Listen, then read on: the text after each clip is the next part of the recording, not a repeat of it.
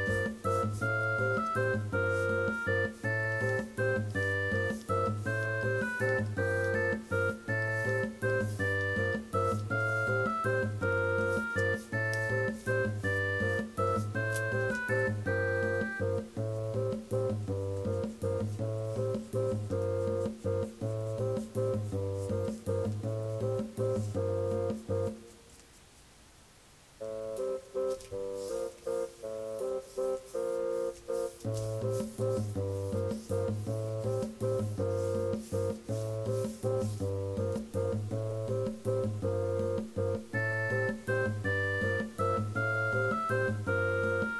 う、いい感じ。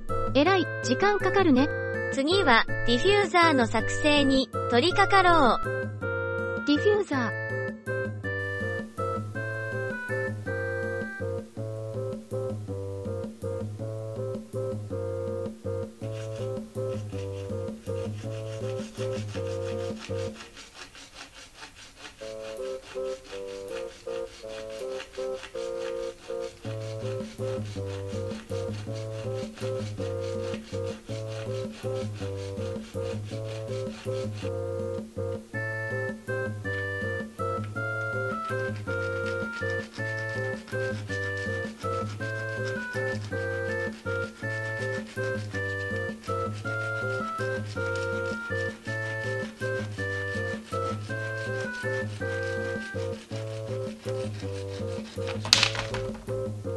よし。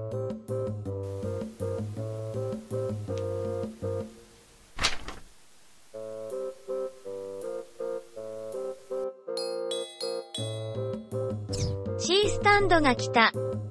新スタンド